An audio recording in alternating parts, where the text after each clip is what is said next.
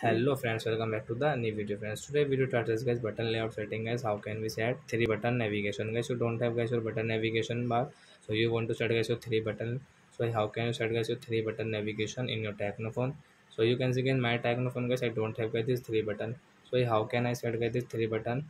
navigation in a Technophone? In this video I will show you friend. First of all guys, open your phone setting to set guys 3 button navigation, then guys scroll it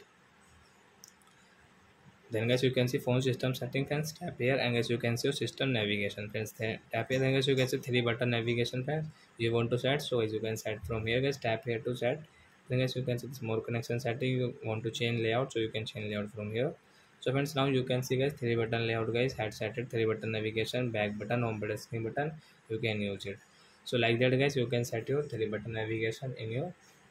technophone so that's it guys thanks for watching the video guys now we will meet on next video bye bye before going please go and like the video bye